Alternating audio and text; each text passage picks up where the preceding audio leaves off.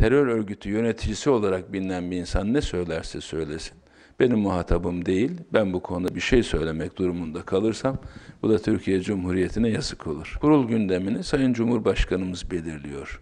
Bu konunun görüşülmesini arzu ettiğini ve gündemde böyle bir yer olduğunu söylemeliyim. Legal görünümlü, illegal yapılanma. Yani buradaki ibareden sadece birkaç yıldır Türkiye'de tartışması yapılan konularda hedef olan insanları veya topluluğu kastetmediğimizi bir bütün olarak devletin içerisindeki bu paralel yapılanmalardan kimisi takibat konusu olmuş, kimisi henüz belki o noktaya gelmemiş varlıkları da anlayabiliriz. Dolayısıyla mesela cemaatler konusunun kesinlikle ele alınmadığını söylemeli. Yasalara aykırı eylem yapma noktasına gelmişse o zaman bunlara karşı tedbir almak devletin bekası bakımından fevkalade önemlidir. Şüphesiz hükümetimiz bu konuda üzerine düşeni yapacaktır.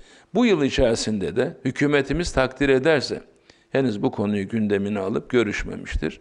Milli Güvenlik Siyaset Belgesi'nde bir değişiklik yapılmasına ihtiyaç olduğunu Milli Güvenlik Kurulu'na götürebilir. Şu anda böyle bir ihtiyaç içinde değiliz çünkü henüz değerlendirmedik.